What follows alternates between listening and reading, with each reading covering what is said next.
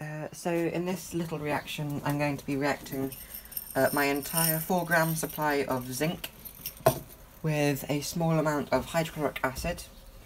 Uh, I've worked out I need 42 milliliters, 42.6 milliliters to react fully with the zinc.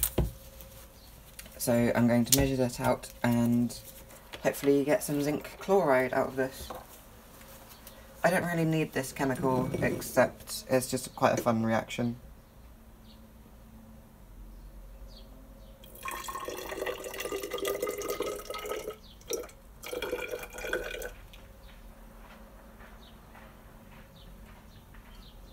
Okay. It has a slight excess of hydrochloric acid.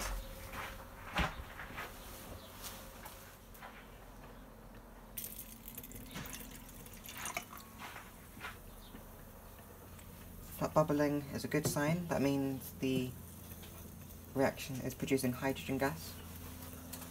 With that reaction there. So I'm just going to keep swirling this. It's not actually visible.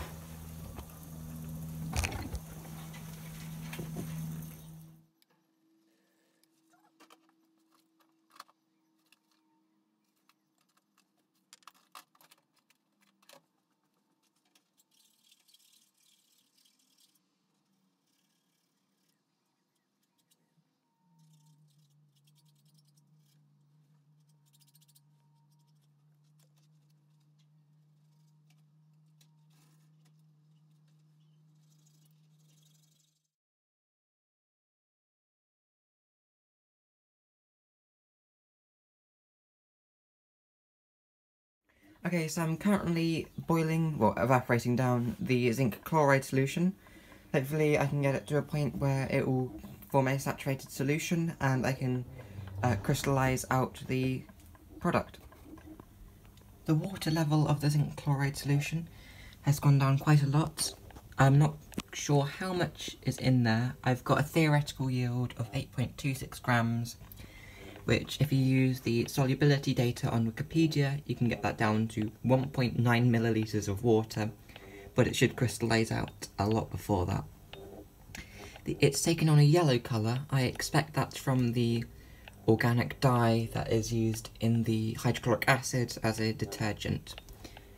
Um, I'm just trying to boil off the water from it currently, which is taking quite a long time.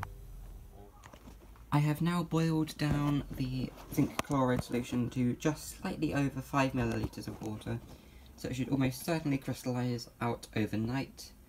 Uh, it does seem to have decomposed slightly, well I'm expecting that to be the organic dye that they use, uh, which should come out with a few crystallisations, but it, might, it's a bit annoying because it's dark. I've also done some recalculating because I didn't factor in that what I would get is the tetrahydrated form, so with four uh, water molecules surrounding it. So I should get 12.66 grams, which is better. Uh, but again, I don't actually need this unless I'm doing some chlorination reactions for alcohol testing or something, which I might do eventually, but I don't have any current plans for it. This zinc chloride experiment has really just not worked. I'm not entirely sure why but it's not crystallizing out. And I've boiled it down, re-saturated it in acetone and water and ethanol. It's just not crystallizing out. So for that reason, I'm calling this project quits and putting this in a waste container.